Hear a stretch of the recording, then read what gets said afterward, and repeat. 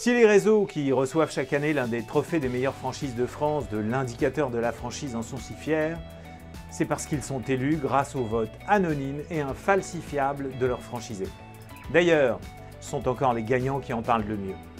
Très content euh, d'avoir euh, eu ce trophée parce qu'en fait il a été euh, décerné par nos franchisés, c'est la plus belle des récompenses. En définitive c'est un travail qu'on fait avec eux conjointement et qu'ils soient satisfaits de notre travail, c'est super.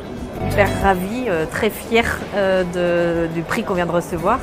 et puis, bah, enfin, ravi que les franchisés soient satisfaits de l'accompagnement. Ah, c'est plus que de la satisfaction, c'est de l'émotion.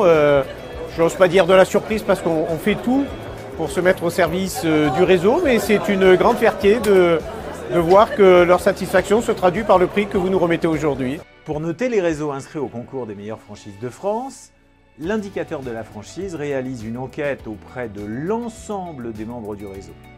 Il leur pose 50 questions sur tous les sujets qui comptent, ceux qui comptent vraiment pour les franchisés, mais aussi pour les candidats qui envisagent de créer leur entreprise et qui ont tout simplement besoin d'être rassurés. On écoute tout de suite d'autres gagnants des trophées 2024. Ben moi, je suis très heureux de recevoir ce trophée. C'est la, deuxième année parce qu'on était aussi lauréat l'année dernière. Euh, en plus, c'est particulièrement valorisant parce que c'est le réseau qui nous récompense. Ben, évidemment, c'est un, grand honneur. On est, on est ravis.